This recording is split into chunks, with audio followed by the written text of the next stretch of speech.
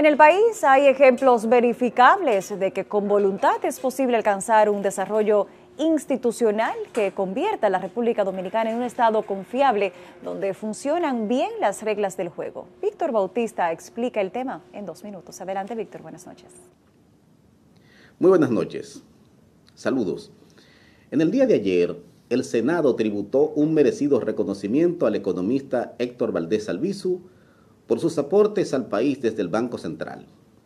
Técnico, discreto, dedicado, metódico, Valdés Albizu y su equipo han fortalecido los fundamentos, la imagen, la reputación y la eficiencia de una de las instituciones más emblemáticas del país.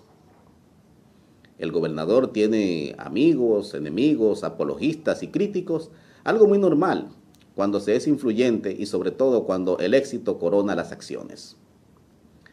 Pienso que en cuatro periodos de gobierno, manteniendo la estabilidad macroeconómica, lo que más resalta en el Banco Central es el valor de la continuidad del Estado.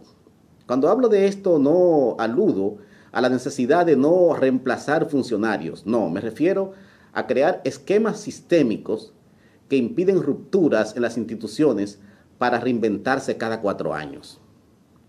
El Banco Central es un lugar altamente técnico y allí no van los compañeritos a buscar empleos como contraprestación por sus aportes en la campaña. A mi juicio, Valdés Alviso ha manejado con mucho celo y rigor técnico la credibilidad de la institución a su cargo. Podremos estar o no de acuerdo con sus métodos, nos puede crear eh, percepción positiva o negativa, depende de las subjetividades y de los egos que le miren, pero creo que el gobernador encarna un ejemplo sobre cómo deberían preservarse las instituciones del Estado.